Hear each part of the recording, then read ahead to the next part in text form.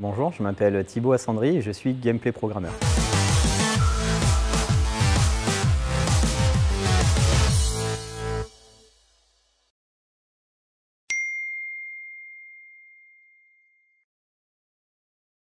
Alors depuis quand? Depuis euh, février 2007, donc ça va faire 14 ans bientôt là. Faire des jeux vidéo en fait depuis tout petit j'en ai eu envie.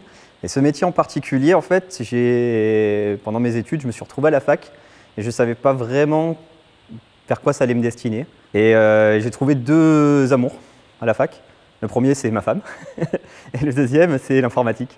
Et du coup je me suis mis à la programmation et, là par contre j'ai été vraiment euh, aspiré par un domaine qui m'a inspiré. Et euh, je me suis mis à faire de la programmation euh, beaucoup. Je suis rentré dans une école d'ingénieur en informatique et je suis rentré à Ubisoft après.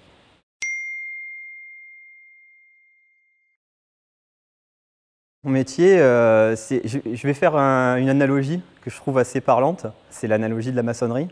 En fait, il y a plein de corps de métiers différents dans le jeu vidéo.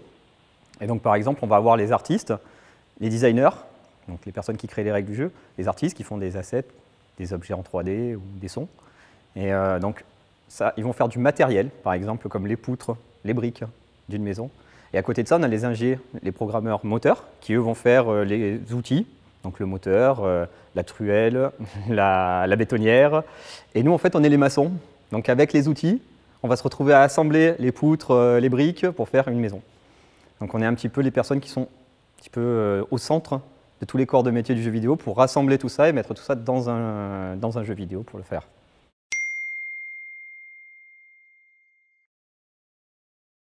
Alors dans les difficultés, euh, il y a pas mal de, problématiques à résoudre, euh, par exemple en mathématiques. Donc, euh, par exemple, moi j'ai eu l'occasion de me servir pour la première fois de manière très concrète du théorème de Pythagore toute ma vie. C'est des trucs qu'on se dit à l'école, on va l'apprendre et, en fait ça sert à rien. Eh bien si. Donc ça permet par exemple de calculer des distances à partir d'angles. Donc voilà, il y, a des choses comme ça qui sont mathématiquement un petit peu compliqué à, apprendre, mais finalement, voilà, ça fait ressurgir des, vieux souvenirs et puis ça se passe très bien. Et après, les trucs que j'apprécie vraiment, c'est justement, comme j'étais en train de dire, sur le, le, côté où on est central par rapport à tous les autres corps de métier, c'est qu'on est amené à communiquer avec tout le monde. Et moi, j'aime bien euh, la communication et du coup, ça se passe très bien et, et j'adore aller voir les gens, voir les avancées et surtout aller voir des corps de métier qui font des choses dont je suis complètement incapable de faire par exemple, euh, des personnages tout en 3D, euh, très bien sculptés, très bien animés. Moi, je suis incapable de faire ça et du coup, je suis très content de récupérer leur travail, de l'inclure dans le jeu et ensemble, on arrive à faire quelque chose de vraiment extraordinaire.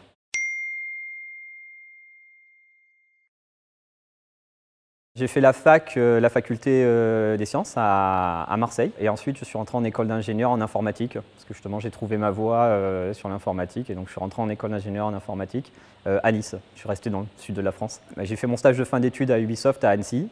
Et, et, le sud me manquait un peu trop, donc je suis redescendu à Ubisoft Montpellier.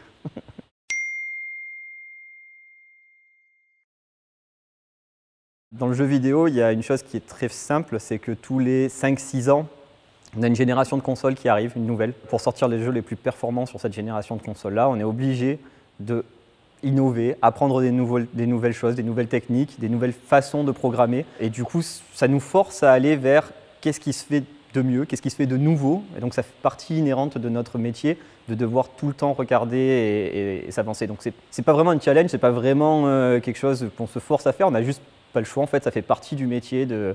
et on est béni dans cette culture à Ubisoft, donc ça, c'est pas un problème quoi.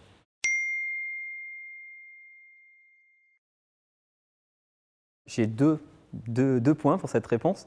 Donc le premier, euh, c'est euh, point de vue du recrutement. Donc euh, j'ai été manager par le passé, j'ai fait passer beaucoup d'entretiens. Il y a un master Imagina à la faculté des sciences de Montpellier qui, qui, est très bien placé, qui nous, qui nous offre des candidats qui sont vraiment très compétents. On en a, euh, pratiquement euh, un ou deux par an qui viennent euh, travailler à Montpellier sur notre projet. Et, on est très content d'eux. Donc on continue à, faire vivre aussi ce master.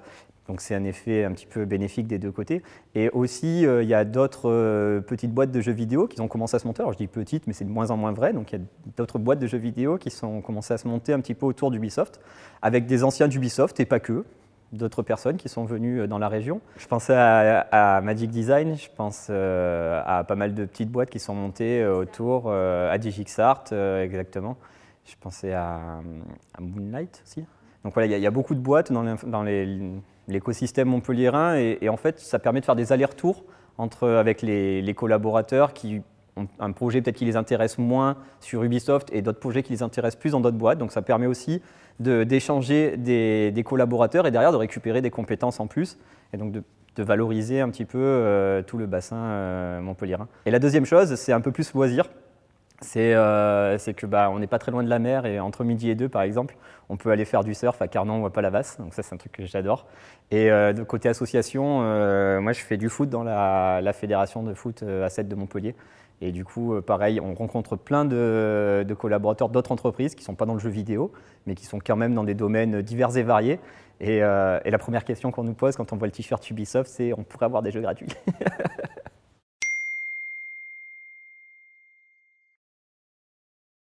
Alors moi, idéalement, j'aimerais bien pouvoir programmer une IA qui programmerait des jeux à ma place pour que moi je puisse aller faire plus de surf. Mais euh, plus, sérieusement, euh, j'espère que là je bosse sur euh, Beyond Good and Evil 2, qui est la suite d'un projet il y a une vingtaine d'années qui est sorti à Montpellier.